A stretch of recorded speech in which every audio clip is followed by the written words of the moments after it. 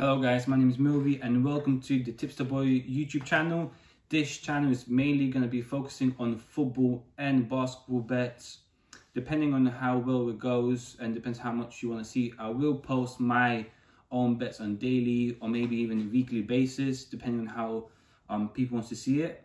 But just before we actually get into this video, I want to let you all know please gamble responsibly. Gambling can be addiction and it can be dangerous. So if you are someone who may struggle with gambling, you might just want to watch this video and not actually follow and do what I'm about to do or what I'm going to do in the future. So I want to kick off my first ever episode with a completed 10 to 100 pound betting challenge that I've done over the last pretty much 24 hours. So uh, what I'm going to do now is I'm going to show on the screen my, my six bets that got me from 10 to 100 pounds with the first bet being a bet on Cagliari and Benevento. As you can see on the screen, um, it is very low odds bet just because I, I want to be on the safe side. So as you can see, I went with over zero cards, over zero cards for the other team as well, and over two corners in the first half. That came in pretty much pretty easy. I think it came in in the first 35 minutes or so. Um, the whole purpose of this challenge is that um, I'm not going to go for huge accumulators or high odd bets just because I want to make sure that I'm kind of just getting these challenges in and out um, as much as possible. So that's the first bet now. When we go on to the second bet, I kind of went pretty much for the same approach. For the other game, again, um, over zero cards for both teams and over two corners. Once again, that came up, that came in, I think, in the first half an hour. So that's pretty much pretty straightforward, pretty easy. And by this point, we already have £20 and 23p.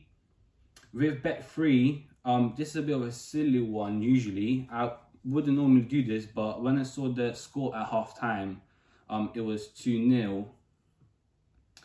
I decided that there's no way that Sampdoria is going to keep a clean sheet. So I thought it'd be a good idea to actually put, even even though it only made me just over four pounds, I knew that it's going to be a safe bet. I knew it's going to come in and it's something that I probably wouldn't want in the future, but I just I was really confident and that's why I done it.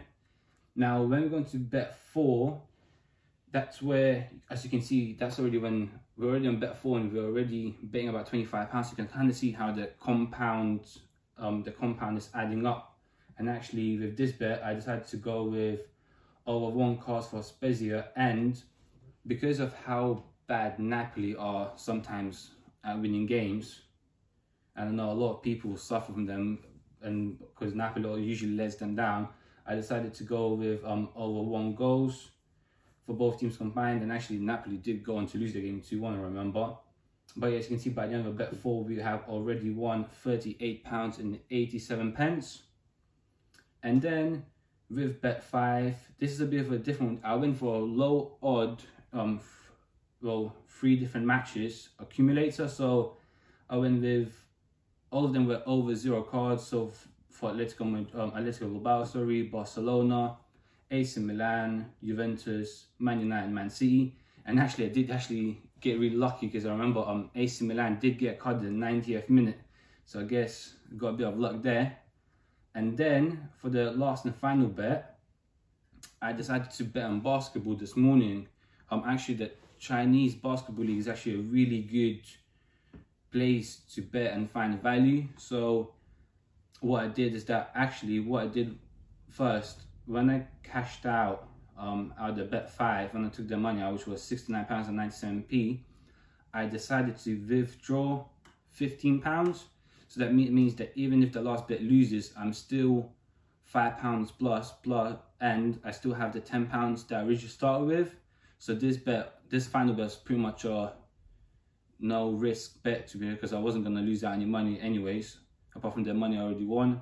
So as you can see, I put down £54.97 on Shenzhen Aviators to win, and I actually cashed out for £101 about with, with about six minutes left in the fourth quarter just because I couldn't be bothered to watch it and didn't want to, there was no point of risking three quid for whatever could happen in six minutes of basketball. So yeah, that's pretty much it. That's my first ever 10 to 100 pound challenge completed on this channel. I have done in the past. And please let me know what kind of videos you want to see in the future. Please press the like and subscribe button down below. And thank you for watching. See you soon.